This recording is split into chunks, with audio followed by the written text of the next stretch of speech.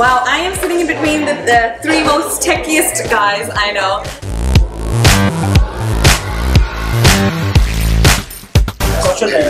What do you think? Like in the stores now, when you come to the show, you see Under Armour, you see Nike, you see.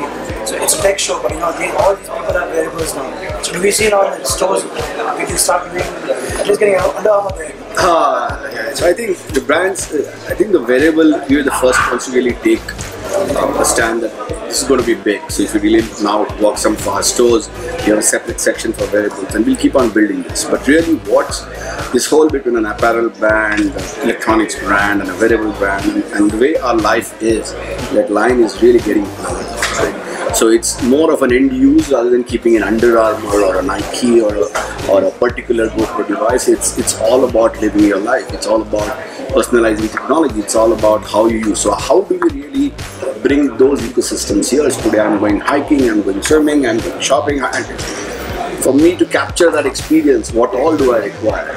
Is, all the use cases here have been spectacular.